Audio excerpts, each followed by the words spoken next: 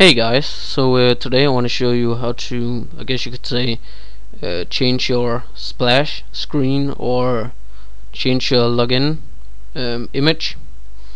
Uh, so if you go to Ubuntu Software Center and install um, splash screen, just search splash screen and install it.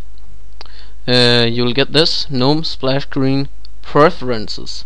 Okay so what you want to do is click this show splash screen on startup. Okay enable that. Uh, click this install. And uh, if you have downloaded a splash screen from uh, GnomeLook for example uh, you want to find that and just uh, double click on the you know the splash screen. And that's it. Uh, you have a new splash screen so, uh, well, that was easy, huh? and now the next thing, how to change your um, login image, I guess you could say. Uh, if you install Ubuntu Tweak, let me just open it. Uh, right here it says login settings. You want to click that. You want to go down and click unlock. Type in your password. R and right here see this is uh, the normal uh, login background.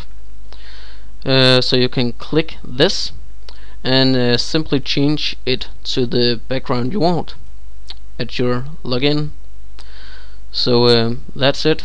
Um, you can also change the login screen logo. It's this one right here. So click that and you simply just find another uh, logo uh, it's that simple.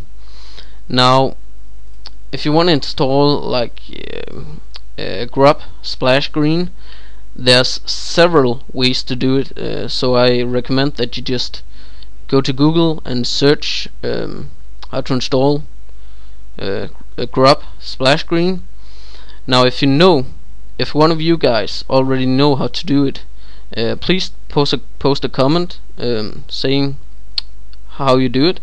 Um, so people will be able to see it because uh, there's multiple ways to do it. So basically I can't just show it in this vid so yeah. But uh, that's it.